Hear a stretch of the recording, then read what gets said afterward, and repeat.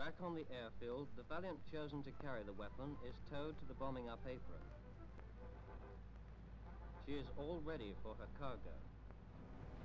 Canvas screens have been placed around the aircraft for security purposes, and behind them the bomb doors are opened and the weapon hoisted in. Bombed up, she is under close guard throughout the night.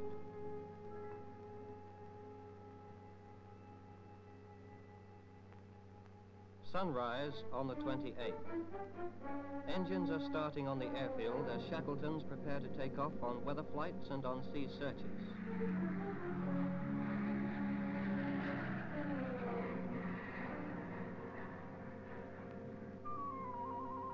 Inside the operations center, all aircraft are plotted in their positions around Christmas Island and in the test area. For every aircraft has its own predetermined position in the sky. 170,000 square miles of the Pacific have been searched continually for days to make sure that no unscheduled ships or aircraft are anywhere within this area.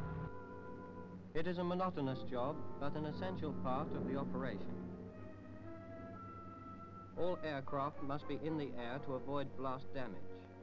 The Shackletons have already left, followed by the Canberras, four of which have been briefed to take samples of the cloud.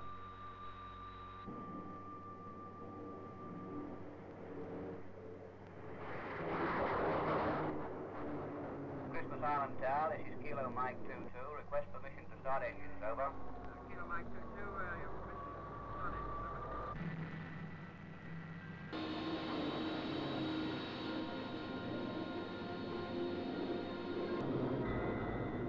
Valiant XD-824 is airborne and gathering height.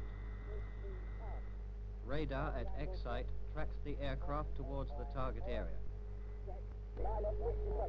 Minus 60 seconds, telemeter into internals. Minus 60 seconds, telemeter to internals.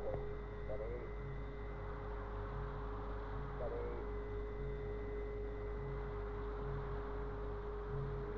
Uh, minus 45 seconds. Steady. Very, very slow to just a touch. Steady. Steady.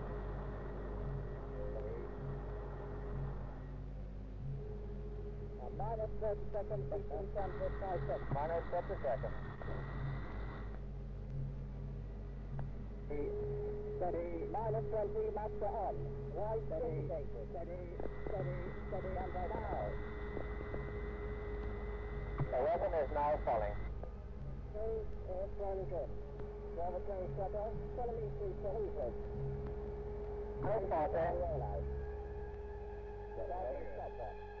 And only 1.7. Minus 30. Far back slightly.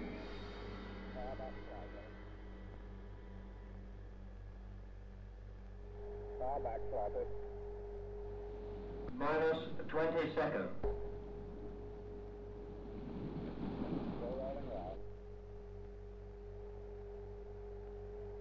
Minus 10, 9, 8, 7, 6, 5, 4, 3, 2, 1.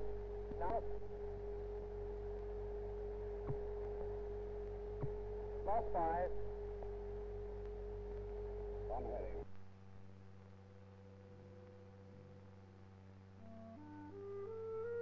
Partially obscured from view by the natural cloud, the fireball rises.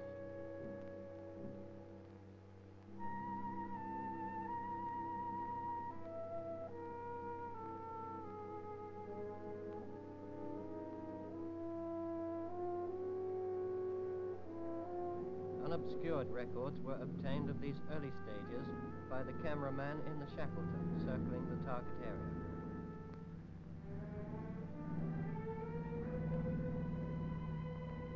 The fireball is now beginning to cool, and the mushroom stem is developing. An ice cap is gradually forming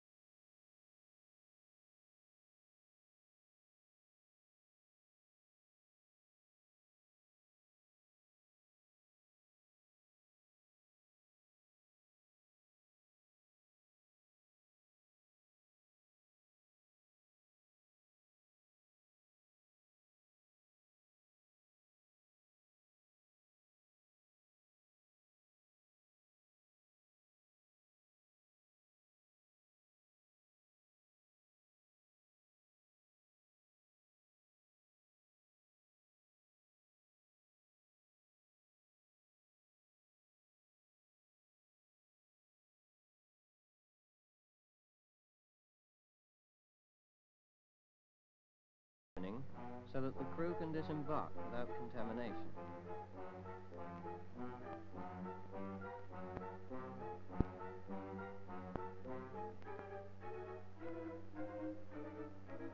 The samples are then removed from the wingtip nacelles and placed in special containers.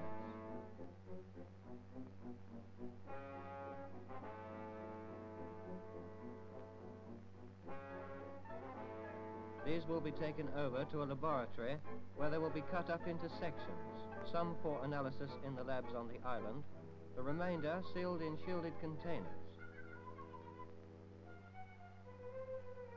These are then taken to a Canberra aircraft standing by to take off. The samples are flown back to England for radiochemical analysis at Aldermaston.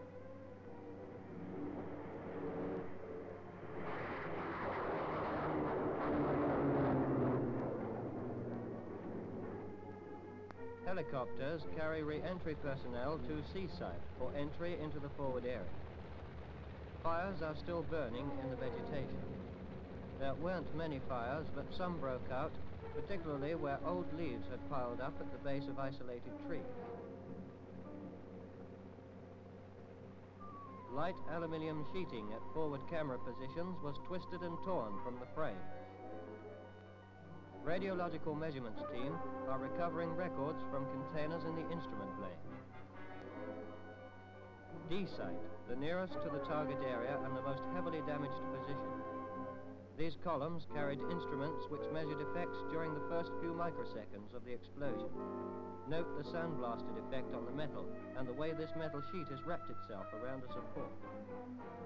Behind the shelters at D site, this ventilating plant and generators suffered some damage.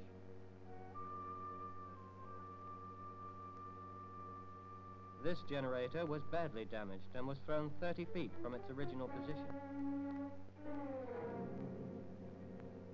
Sandbags used in the open as retaining walls and unprotected by cement washing have been burnt by the heat flash. Removing them is a worse job than putting them in place.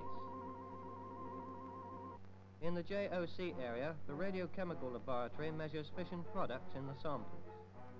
Specimens are placed in a gridded ion chamber and pulses are analyzed by the pulse height analyzer.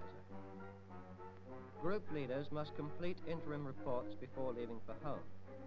The end of a trial is always a rush, reports to finish and equipment to store.